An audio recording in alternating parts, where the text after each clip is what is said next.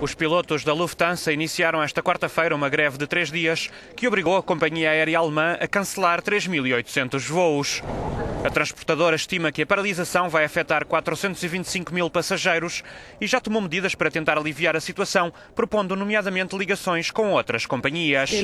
Mas no aeroporto de Frankfurt, uma passageira diz que o dinheiro que pagou pelo comboio e autocarro para aqui chegar já está perdido e não acredita que poderá reavê-lo ou, se puder, será muito complicado.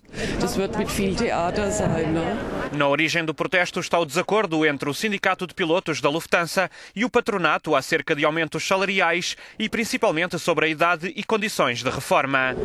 Jorg Andberg, porta-voz do sindicato, explica que a Lufthansa tem mais de mil milhões de euros num fundo destinado a reformas antecipadas de pilotos, que em alguns casos trabalham há 30 anos para a empresa, mas agora a Lufthansa quer dissolver esse fundo e distribuí-lo sob forma de dividendos. A greve vai afetar tanto as ligações de passageiros como de carga da Lufthansa, bem como os voos da filial de baixo custo Germanwings. Os pilotos dizem que o protesto poderá ser renovado.